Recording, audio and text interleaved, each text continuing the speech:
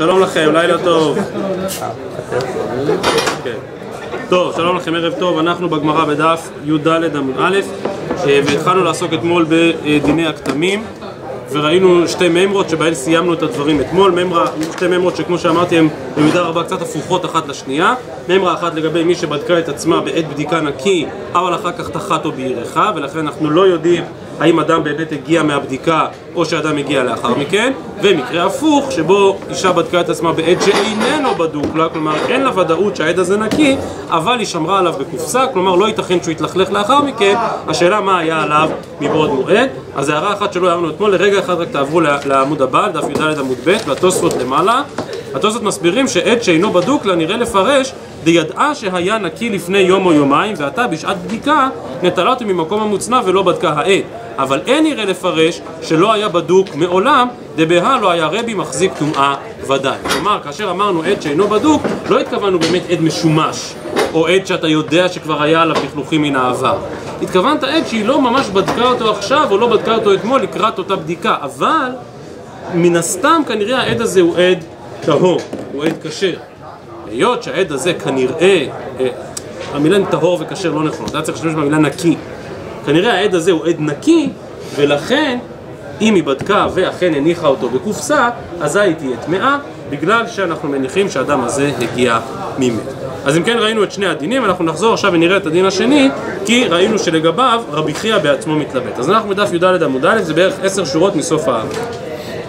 איתמה, בדקה בעת שאינו בדוק לה, אז ראינו לפני רגע בתוספות, עת שאינו בדוק לה, הכוונה לא ממש עם דם, אבל עת שלא הספיקה עכשיו לברר את הנקיות שלו, והניחתו בקופסה, ולמחר מצאה עליו דם. אמר רב יוסף, כל ימיו של רבי חייא טימא, כי אף על פי שהעד לא היה בדוק, סוף סוף היא בדקה את עצמה והניחה בקופסה ולכן זה ממנה והיא טמאה, ולעת זקנתו רבי חייא חזר בו ותיהה. אומרת הגמרא היא בעיה לאו, איך היא קמה? כל ימיו טימא משום נידה, כלומר טומאה ודאית, זה בטוח ממנה, זה בא בבדיקה. ולעת זקנתו טיהר משום נידה, אבל טימא משום כתם. כלומר, סוף סוף יש כאן טומאת כתמים, כלומר טומאה מסופקת.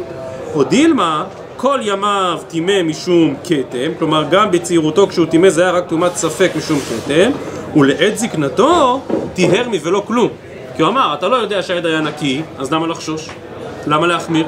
אתה לא יודע בכלל שהעד היה נקי, אולי העד היה מלוכלך מלפני כן, ולכן האישה הזאת טהורה לחלוטין. אם כן, כאשר רבי חייא במשנה האחרונה אמר טהור, האם הוא התכוון להגיד זה לא דם נידה, טומאת ודאי, אלא רק כתם, טומאת ספק, או שהוא התכוון לומר טהור לגמרי.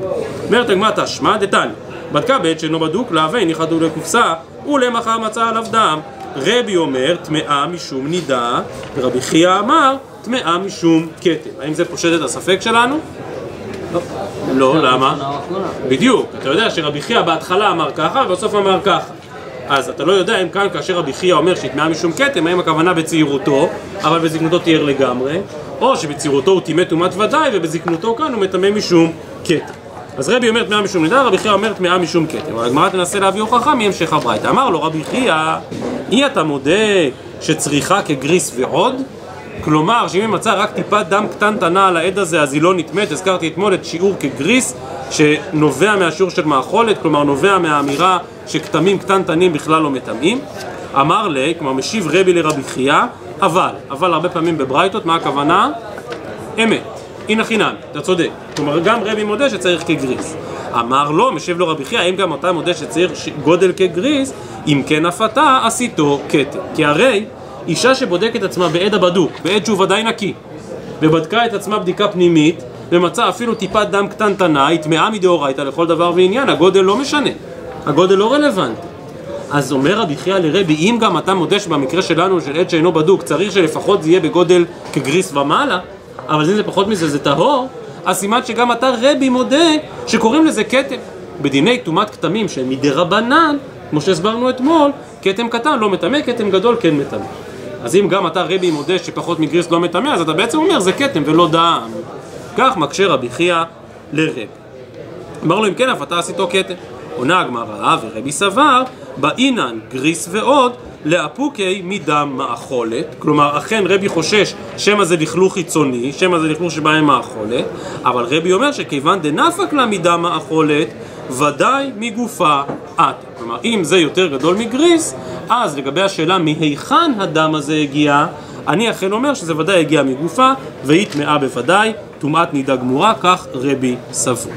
טוב, אז זאת הברייתא, וזו המחלוקת בין רבי לרבי חייא, אבל כאמור אנחנו עדיין לא פשטנו מזה את השאלה שלנו, האם כאן רבי חייא מדבר בצעירותו, אבל בזקנותו תיאר לגמרי, או שרבי חייא כאן הוא רבי חייא בזקנותו, שגם בזקנותו הוא סבור עדיין שיש כאן טומאת כתמים. לזה כמובן אין שום גילוי בברייתא, קשה מאוד לדעת מהברייתא על מה היא מדברת. אומרת הגמרא, מאי לאו בזקנותו קאי? מה, זה לא פשוט לך שהברייתא הזאת היא רבי חייא בזקנותו? הא בילדותו טימא משום נידה, שמע אמינא.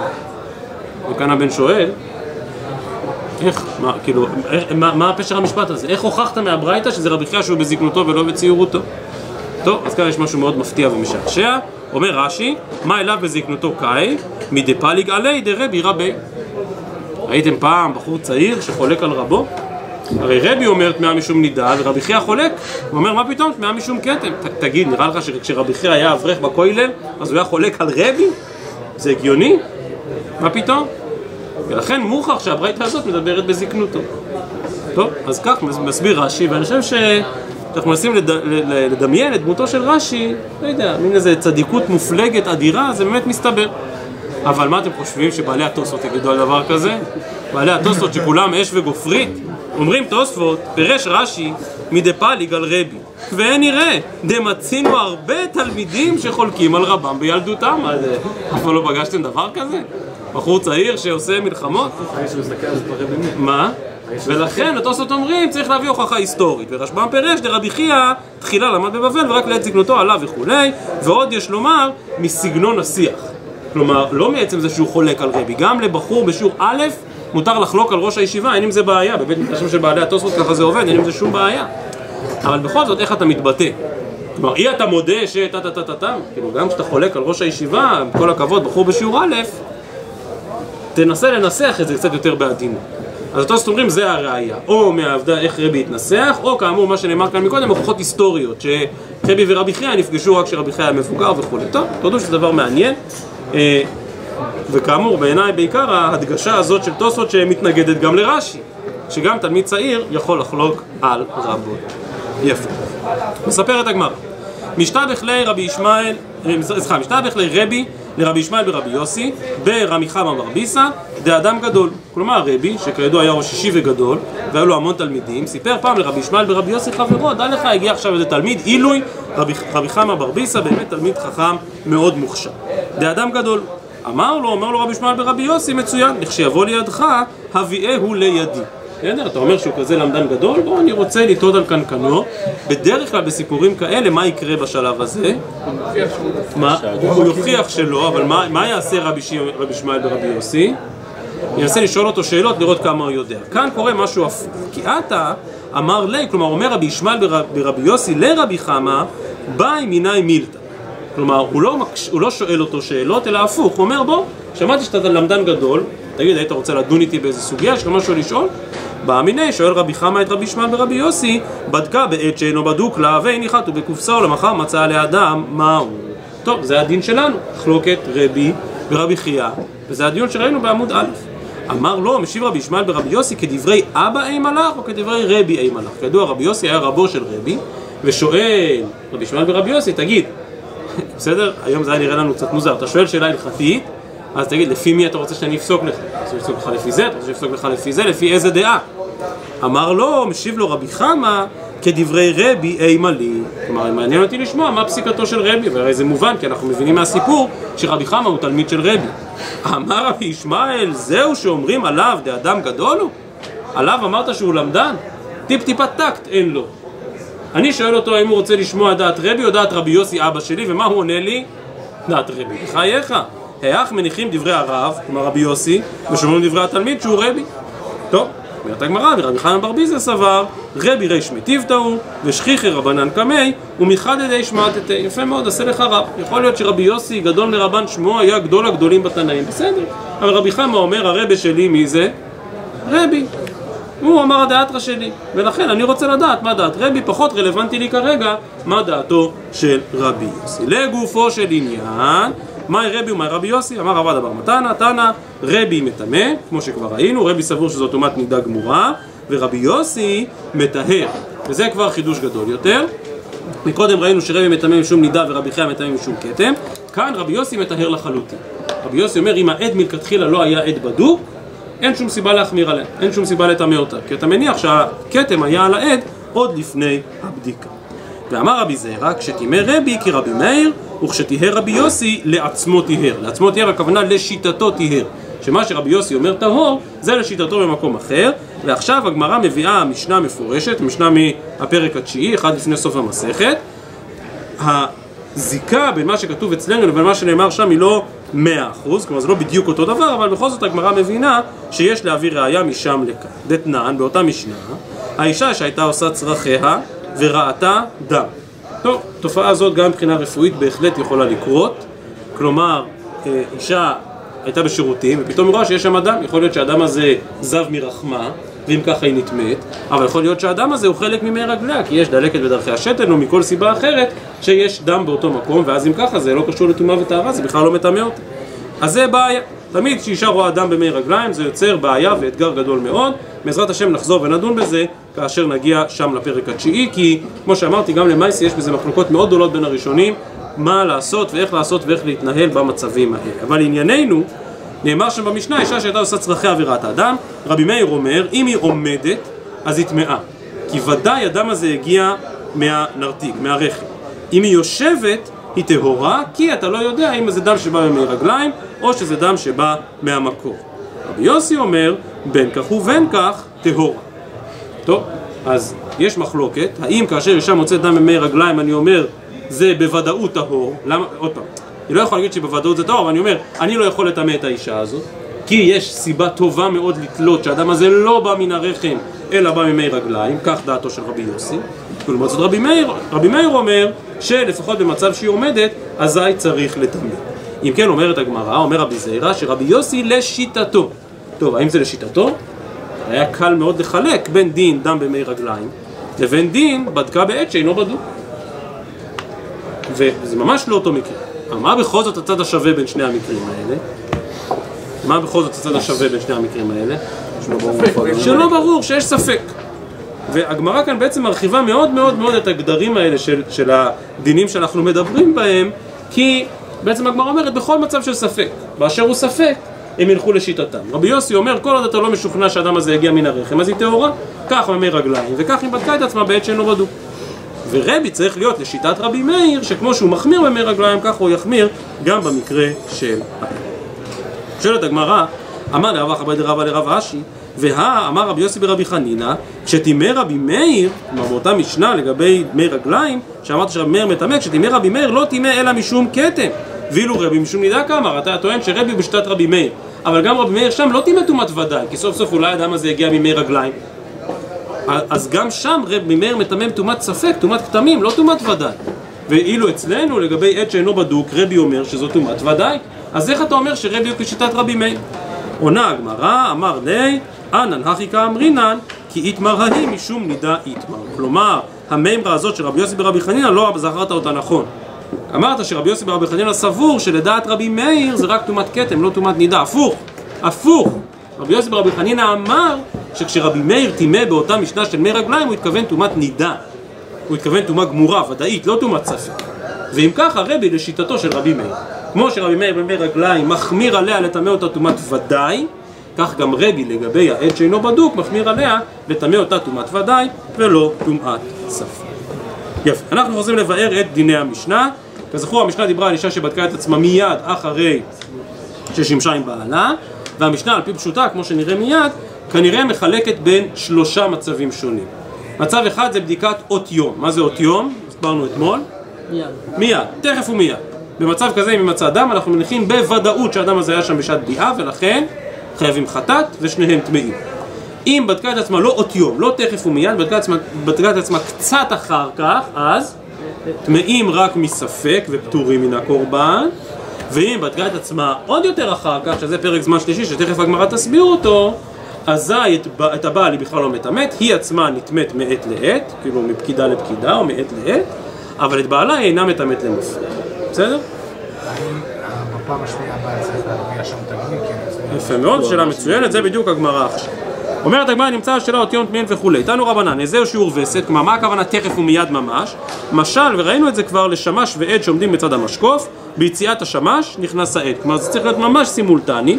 הווי וסת שאמרו לקינוח, אבל לא לבדיקה. כלומר במילים אחרות זה בלתי אפשרי. לעשות בדיקה תכף ומיד, כלומר להכניס עד בדיקה לתוך המקור מיד אחרי הביאה זה בלתי אפשרי. ולכן אם אומרת המשנה שאם היא בדקה מיד חייבים חטאת, משמע שלא צריך בדיקה אלא קינוח. בדיקה הכוונה בדיקה פנימית, בתוך המקור, בתוך הנרתיק, וקינוח הכוונה בדיקה חיצונית.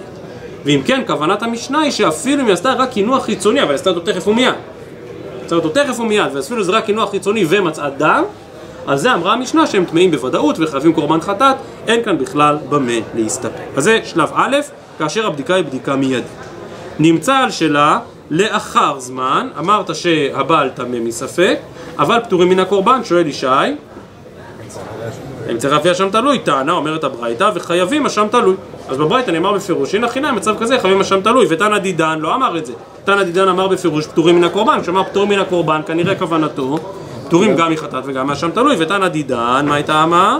הגמרא בעניין חתיכה משתי חתיכות, ואם אתם זוכרים את הסוגיות הארוכות שלמדנו בנושא הזה במסכת כריתות, כאשר לא איקבא איסורא, כאשר אין ודאות שיש כאן איסור במערכת, או שהיא הייתה נידה או שלא, אתה לא יודע האם היא הייתה נידה או לא.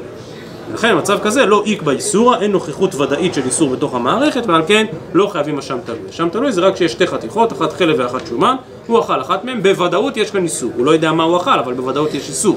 כאן אין ודאות שהיה איסור, כי אם היא לא פרסה נידה כאשר הוא בא עליה, אז הוא לא חייב שום דבר, וזו אם כן המחלוקת, האם חייבים או לא חייבים, אשם תלוי. זה כאמור פרק זמן ב', שהוא לא תכף ומיד, אבל הוא עדיין סמוך מאוד לביאה. איזהו אחר זמן, כלומר, מהו פרק הזמן הזה של מספר 2? אז אמרה המשנה, אני מקריא את זה מלשון המשנה, אמרה המשנה, מה זה אחר זמן? כדי שתרד מן המיטה ותדיח את פניה. כמה זמן לוקח לבן אדם שוכב לקום מהמיטה וטיפה לסדר את עצמו? 20 שניות, חצי דקה. אז אם זה תכף ומיד, חייבת חטאת. אם זה, בוא נגיד אפילו דקה, דקה אחר כך חייבים אשם תלוי או לא חייבים אשם תלוי בהתאם לשתי הברייתות. אבל אם זה היה יותר מדקה אחר כך, אז כבר הבעל טהור. האישה עצמה מטמאת למפרע מעת לעת, אבל הבעל מצד עצמו טהור. טוב, אז אם כן, זה השיעור שקבעה המשנה. אומרת הגמרא, ורמינו, איזהו אחר זמן, אצלנו במשנה כתוב כדי שתקום מהמיטה, ואילו בברייתא כתוב, פירש רבי אלעזר ברבי צדוק, כדי שתושיט ידה תחת הקר או תחת הכסת, ותיטול עד ותבדוק בו. טוב, אז מה לוקח יותר זמן? לקום מהמיטה ולנקות, או לקחת עד מתחת לכרית ולבדוק? אתם, אתם עונים את זה כאילו בכזאת פשטות, לא, לא יודע, לא יודע, אתה בן אדם זריז, תלוי איפה נמצא העד, תלוי... לא יודע, זה לוקח 30 שניות, זה לוקח 40 שניות, כאילו, אבל עדיין אומרת הגמרא, לא, זה לא בדיוק אותו שיעור. דיונים במשנה זה עקרוני לגבי זמן או שזה משהו טכני? זאת אומרת, נניח שהיא נשארה לשכב במשך שתי דקות, אז עדיין עבר חצי כן, דקה? אז, אז אתה צודק, שבמצד, אתה צודק לחלוטין שמצד פשט המשנה היה אפשר להבין שזה דין בלקום, אבל מהברייתא פה מוכרח שלא ככה, שזה דין בשיעור זמן. יש חובה לבדוק אבל? ודאי, זה מה שלמדנו במשנה. עוד פעם, האם למעשה יש חובה לבדוק? אז הזכרתי שהרמב"ם באמת פוסק את המשנה הזאת להלכה ורוב הראשונים לא. אבל המשנה ודאי אומרת שיש חובה לבדוק. אם כן, יש סתירה בין המשנה שאומרת כדי שתקום מהמיטה לבין הברייתא שאומרת שתיקח עד ותבדוק. אמר רב חיסדא, מאי אחר, אחר, אחר. כלומר, יש שלושה זמנים כמו שהסברנו מקודם, ואם ככה הוא באמת מניח בפשטות, כמו שאתם אמרתם בצדק, נראה לכם פשוט לגמרי, שלקום מהמיטה לוקח יותר זמן. ואז הוא אומר, איך בעצם צריך ללמוד את זה? אם היא בודקת מיד מיד, חייבים חטאת. אם בפרק זמן של יושיט את העד מתחת לכרית, אז הבעל טמא מספק. אבל אם זה פרק הזמן שהיא כבר קמה מהמיטה, שזה כבר לוקח המון זמן, אז הבעל טהור. כך לומד רב חיסדא. אומרת הגמרא, והקטני עלה על הדין הזה שאם קמה מהמיטה, נמצא על שלה לאחר זמן טמאים מספק ופטורים מן הקורבן. אז איך אתה יכול להגיד שה, שהדין הזה שתקום מהמיטה מבטא את האחר אחר, את הזמן שבכלל לא טמאים? עונה הגמרא, עונה רב חיסדא, אחר זמן, זהו אחר זמן כדי שתרד מן המיטה ותדיח פניה, עונה רב חיסדא אחי כמה. זהו אחר זמן, מה הכוונה לפרק זמן מספר 2? כדי שתושיט ידה למתחת הכרית או מתחת הכסת ותיטול עד ותבדוק בו. אבל כדי שתרד מן המיטה ותדיח את פניה, זה כבר מחלוקת רבי עקיבא וחכמים. מה מחלוקת רבי עקיבא וחכמים במשנה? האם כאשר מטמאים אישה מעת לעת, האם זה מטמא למפרע גם את בעלה או לא. אבל גם רבי עקיבא וגם חכמים מודים שפרק הזמן של לקום מהמיטה זה נחשב כבר אחר אחר. זה כבר פרק זמן מספר שלוש, זה הזמן המאוחר יותר. כך לומד רב חיסטה. אומרת הגמרא, והאחר כך קטני. לגמרא אחי כאמר, וזהו אחר כך, כלומר על פרק הזמן הזה, מספר שלוש, על פרק הזמן הזה נחלקו רבי עקיבא וחכמים. אז עד כאן המהלך של רב חיסטה, שאכן מדובר על פרקי זמן שונים. להושיט עד מתחת לכרית זה לא תכף ומיד, אבל זה עדיין מיידי. לקום מהמיטה זה כבר זמן מספר שלוש. זה רב חיסטה. רב אשי מציע מהלך אחר. רב אשי אמר לו, אידי ואידי חד שיעורו, כמו שאני רציתי להתווכח איתכם ולומר, לא יודע, מה, זה 30 שניות וזה 40 שניות, כאילו זה, זה, שניהם מאוד מהירים. רב אשי אמר, אידי ואידי חד שיעורו. אם עד בידה, אם כבר עד היה בתוך היד, אז מה תגיד לה? כמה זמן שלוקח לה לבדוק, הרי העד כבר ביד, זה לוקח שנייה. אלא אם העד בידה, אז פרק הזמן הוא כדי שתרד מן המיטה ותדיח את פניה. ואם אין העד בידה, אז כדי שתושיט ידה לתחת הקר או לתחת הכסת ותיטול עד ותבדוק. במילים אחרות, כוונת הברייתא, וכאן זה מוכח, לפי התירוץ של רב אשי, זה להגיד, לא יודע מה, 40 שניות. אז אם העד כבר ביד שלה, אז לא לוקח 40 שניות לבדוק, ולכן אמרו שיעור שתקום מהמיטה, שזה לוקח 40 שניות. אם העד לא ביד שלה, אז אמרו כדי שתיטול את העד, שזה לוקח, כמו שאמרתי, נגיד זה לוקח 40 שניות, אבל בעצם מדובר בדיוק על אותו שיעור. אחרי הזמן הזה, זה כבר אחר אחר שהבעל טהור. אוקיי, אז זו מחלוקת. מה? לפי זה יוצא שבעצם אין מציאות שבה אישה יכולה לבדוק את עצמה לפני פרק זמן של אה, תולד ותבדוק? עוד פעם לא הבנתי. כדי לקחת עד, כדי לבדוק היא צריכה עד. נכון. אז זה הזמן המינימלי. לא, אז זה בדיוק העניין, שאם העד כבר היה ביד שלה והיא גם לא קמה מהמיטה, אז זה נחשב קינוח תכף ומיד, ואז יהיו חייבים חטאת.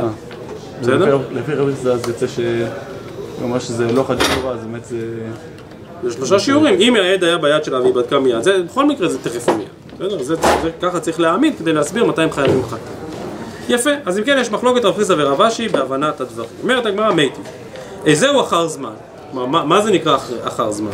דבר הזה שאל רבי אלעזר ברבי צדוק לפני חכמים באושה, ואמר להם, שמא כי רבי עקיבא אתם אומרים שמטמא את בועלה, כלומר שגם אם היא מצאה את זה עשר שעות אחרי הבעילה, סוף סוף היא נטמאת מעת לעת, וממילא גם בעלה נטמא למפרע מעת לעת. האם זה מה שאתם חושבים? אמרו לו, לא שמענו, לא, מה פתאום, אנחנו לא חושבים כמו רבי עקיבא שמטמא למפרע. אמר להם, אז אם ככה אתם צריכים להגיד בדיוק כמה זמן זה. כך פירשו חכמים ביבנה, לא שהתה כדי שתרד מן המיטה ותדיח את פניה, תוך זמן הוא זה, וטמאים מספק ותפרים מן הקורבן וחייבים באשם תלוי. לעומת זאת, אם שהתה כדי שתרד מן המיטה ותדיח את פניה, אחר הזמן הוא זה. וכן ששהתה מעת לעת ומפקידה לפקידה, בועלה מטמא משום מגע, כלומר כי סוף סוף הוא נגע בה בזמן הזה, אבל אינו מטמא משום בועל. רבי עקיבא אומר, אף מטמא משום בועל, כי כמו שראינו כבר במשנה, רבי עקיבא סבור שכשטימאנו אותה מעת לעת, אז מסתבר למפרע שהייתה טמאה כל ה-24 שעות האלה, ואם הוא בא עליה ב-24 שעות האלה, הוא נטמא. רבי יהודה בנו של רבי יוחנן בן זכאי אומר, בעלה נכנס להיכל ומקטיר קטורת, כלומר, הוא טהור לחלוטין, לא, זו, לא, לא זו בלבד שאין לו דין של בועל נידה, אין לו דין אפילו של נוגע בדינה, הוא טהור לחלוטין, תכף הגמרא תסביר. לענייננו, בישלמה לרב חיסדא, שאומר שהשיעור של לרדת מהמיטה הוא כבר השיעור של אחר אחר, היינו דמטהרי רבנן, שהם אומרים שבמצב כזה טהור. אלא לרב אשי, הרי רב אשי אומר שהשיעור שתרד מהמיטה זה אותו שיעור של תקנח וזה שיעור של אה, ספק טומאה. אלא לרב אשי המים מטהרי רבנן. וכי תימא דאין עד בידה, כלומר רב חיסדא כן מכיר בשיעור שתרד מהמיטה כאשר אין לה עד בתוך היד.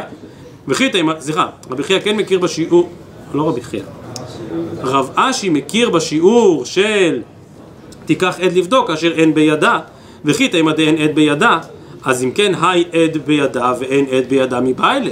זה לא מה שהברייתא מחלקת, לפי רב אשי זה החילוק. אם עד בידה, אז זה כדי שתבדוק עם העד, אם אין עד בידה כדי שתקום מהמיטה, הפוך. אם עד בידה זה כדי שתקום מהמיטה, אם אין עד בידה זה כדי שתיקח את העד. אבל סוף סוף זה אותו שיעור. ואם רב אשי צודק, אז הברייתא הייתה צריכה להגיד את זה, זה החילוק שהיה צריך להיזכר בברייתא, ועל כן הגמרא באמת מסיקה בקשי. ויש מה שהגמרא אומרת זה שרב אשי, אם יש לו שיעור של גם תיקח עד וגם תרד מהמיטה, אז נכנסנו למחלוקת רבי עקיבא ורבנן. אחרת הרי זה, אחרת הרי חייבת לשם אוקיי, תלוי. בסדר, בסדר, אני חושב שזה, זה, זה, בסדר, זאת הכוונה. רבי יהודה בנו של רבי יוחנן בן זכאי אומר, בעלה נכנס להיכל ומקטיר קטורת. אומרת הגמרא, נו, אבל איך מתמודדים עם זה? מתי כלי דהבה נוגע במעת לעת שבנידה. כלומר, סוף סוף באמת מאוד קשה להסביר את זה. בשלם, הרי בעיקר הדין לכאורה, רבי עקיבא צודק. אם אמרת שלמפרע היא טמאה 24 שעות אחורה, אז אם ב-24 שעות אחורה האלה הוא גם בא עליה, אז הוא טמא כדין בועל נידה. על פניו רבי עקיבא צודק.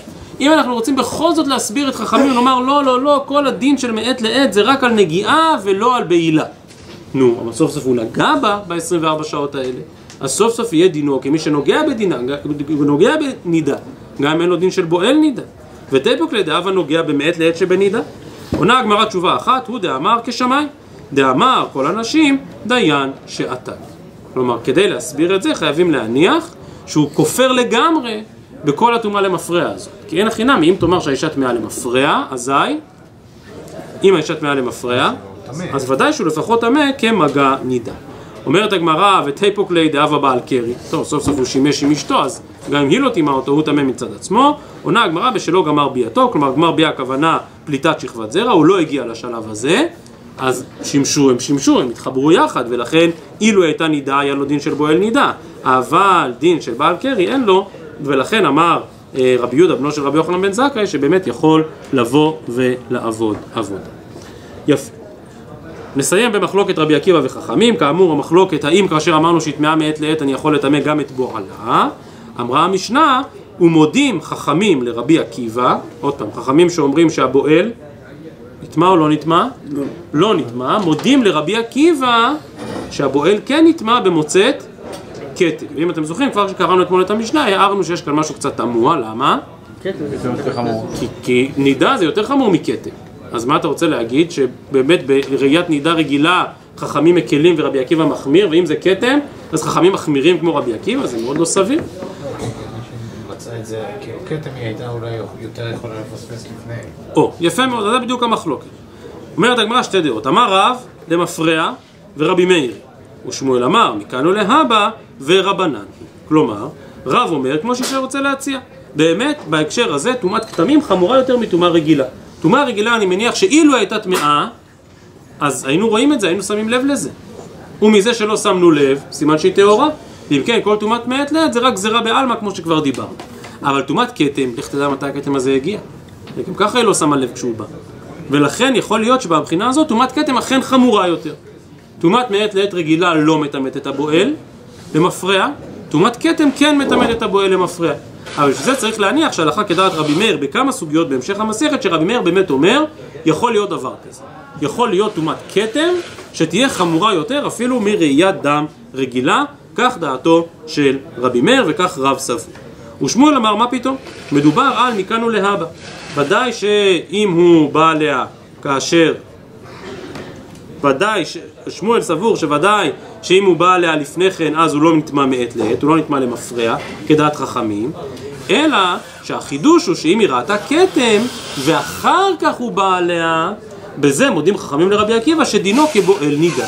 מה קשה? ברור, למה זה ברור? כאילו... כי זה לא קשור לכל המחלוקת בדיני למפרע. אמרת שאישה שרואה כתם נטמאת, אז ברור שאם היא נטמאת ואחר כך הוא בא עליה, אז דינו כבועל נידה. אומרת הגמרא, מכאן ולאבא? פשיטא. אז מה החידוש לפי שמואל? מה החידוש אם נטמאת מכאן ולאבא? ברור, היא טמאה. עונה הגמרא, מהו דתימה הואילו מעת לעת דרבנן. כלומר, טומאה למפרע היא מדרבנן. וגם טומאת כתמים היא רק מדרבנן. אם כן, לדעת חכמים, מה מעת לעת לא מטמא את בועלה? כי חכמים חולקים על רבי עקיבא, חכמים מבינים שטומאת מעת לעת לא מטמאת את בועלה. אף טומאת כתמים שהיא מדי רבנן לא תטמא את בועלה, כמשמע לן שכן. כלומר, טומאת מעת לעת אינה מטמאה את הבועל למפרע, אבל אישה שראתה כתם, אף על פי שהיא טמאה רק מדי רבנן, עדיין אם בעלה יבוא עליה אחר כך, הוא יטמא בטומאת נידה. אומרת הגמרא, ואימה הכי נמי? נו, אבל מי אמר? אולי, זה, אולי באמת זה נכון? שכמו שטומאת מעת לעת היא רק חומרה מדי רבנן ולכן הבועל לא נטמא, ככה גם טומאת כתמים היא חומרה מדי רבנן והבועל לא יטמא. עונה הגמרא, הטם אין שור שחוט לפניך, הכה יש שור שחוט לפניך. כלומר, מי יכול להסביר את זה? מה זה שור שחוט? חיות פורנזיות. ראיות פורנזיות, יפה, לא חשבתי על הביטוי הזה. בסדר, יש ראיות חד משמעיות. כאשר אתה רוצה לטמא למפרע, אין לך מושג כשאתה מטמא אותה למפרע. אולי הדם הזה הגיע לפני שעה, אולי לפני שעתיים, אולי לפני יום, אולי הגיע לפני דקה, ואז בכלל בועלה טהור. כלומר, אין לך אינדיקציה ברורה וחד משמעית על מה שהיה. זה הכל השערות, זה הכל ניחושים. לעומת זאת, טומאת כתמים, כרגע יש דם. שור שחוט לפניך, כרגע יש דם. הנה חינמי, אתה לא יודע, מה אתה לא יודע? מתי? מתי הוא הגיע. אבל עכשיו הוא פה? ברוך הבא, אז עכשיו הוא פה. ולכן נכון שזה טומאה מדרבנן וזה טומאה מדרבנן, אבל ברור שטומאת כתמים היא טומאה מדרבנן חמורה יותר, כי היא טומאה שמתבססת על ראיות שמצאנו כאן ועכשיו, ורש"י כאן עוד פעם חוזר על אותו ביטוי שכבר אה, דיברנו עליו, רש"י אומר לעניין טומאת מעת לעת, אין שור שחוט, דאתמול לא חזאי, אלא סייג בעלמא. אז אנחנו ראינו שטומאת מעת לעת היא גזירה בעלמא, וכאן רש"י אומר שטומאת מעת לעת היא מת סייג בעלמא, זו לא טומאה. לא נכון לקרוא לה טומאה. האישה הזאת לא טמאה למפרע, היא טמאה רק מכאן ולהבא. רק שחכמים אמרו שעושים סייג, שאם היא נגעה במשהו ככה וככה, אז הוא אכן נטמא. מסיימת הגמרא ואומרת, וכן אמר יש לקיש, שמת הטומאה היא למפרע, ואז כמו רב, כמו רבי מאיר, לרבי מאירי, רבי יוחנן אמר מקראנו לאבא, ורמב"ן. אז עד כאן לערב. אה, מחר, באיזה שעה אתם רוצים? אני מחר לא משנה לי, אין לי העדפה.